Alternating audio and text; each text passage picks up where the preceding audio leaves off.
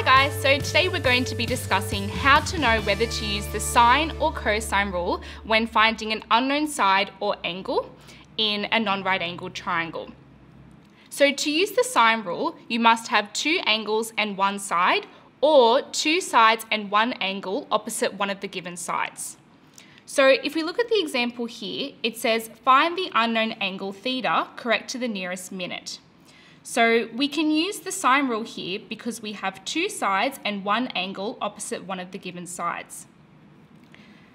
So to use the cosine rule, we need to have three sides and one angle.